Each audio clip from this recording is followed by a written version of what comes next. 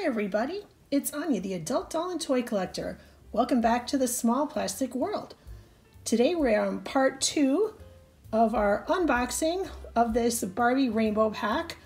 So we will be unboxing yellow and green here. So let's get started. So here is doll number three, our yellow dress doll. Her hair doesn't look as curly as the box art shows it, but I realize there's a little elastic band here. So I'm going to take it off and we'll see if we can fluff it up. Yes, I think this is looking a little fluffier. I'm not very good at styling doll hair, but you know that. It's got some nice waves in the back. I like this. All right, well, we'll leave well enough alone. Now it kind of looks like a triangle. This doll has a really pretty face and she's got the painted brown eyes with the blondish hair, which you know I love. And I have never seen this combination on Mattel Barbie dolls as much as I have since I started this channel. It's kind of funny. And then a bright pink lip. And I don't know the name of her face mold, so if you know the name, please comment down below and let me know. And in fact, is this the same face mold as Barbie Extra 19? I think it is. Do you think so? Comment down below if you know for sure. I really like the design of this yellow dress too. I like that it's just got little short sleeves and it's just very simple. I think it would look nice with a belt maybe even. And it's very simple and plain in the back too. Again, there's no Velcro or anything to open or close it. And for some reason they banded this doll's feet together. So let's get those, let's get that off. I think it was to help keep her shoes on. She has these little slip-on sandals.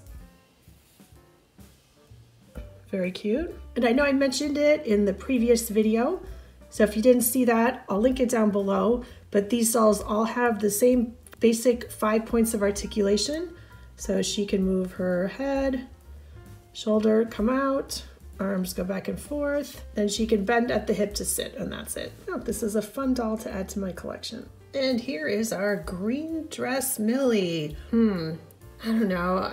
You know, I've said it. I Millie just isn't my favorite face mold. So, I mean, this doll isn't awful or anything, but eh, I don't know. Millie has painted blue eyes. She has a very neutral light lip color and she is blonde. Her hair is kind of a crimping it from being secured to the box.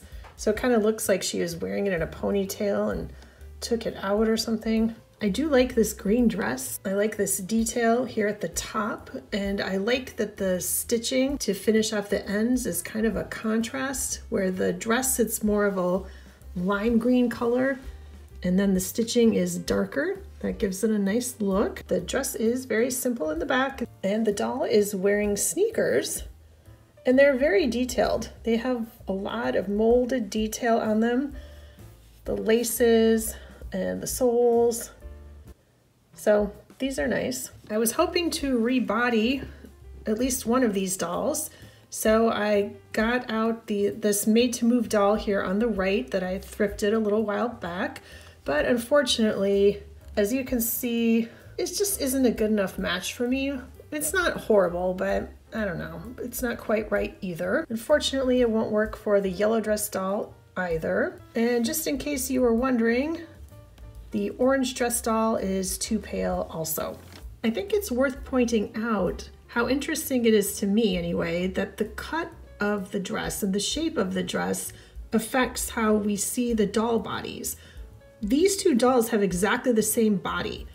The only thing that's different is the skin tone from what I can tell. But the yellow dress here on the left, because it doesn't have a defined waist here and is just kind of straight up and down, compared to the green dress, which is made to have sort of a built-in waistline. The yellow dress doll looks curvier than the green dress doll. I just think that's kind of interesting. So what about you? Are you a big fan of the Millie face? Do you like the yellow dress? Do you have any helpful hints for fixing yellow dress doll's hair that you can give me? Comment down below and let me know. Thank you so much for joining me to D-Box yellow dress and green dress doll from the rainbow pack. Part three, blue dress and purple dress will be up in a couple days. If you like this video, please give it a thumbs up. Subscribe to my channel if you haven't already done so. And if you have, thank you very much. Thank you so much for watching, and I'll see you next time. Bye.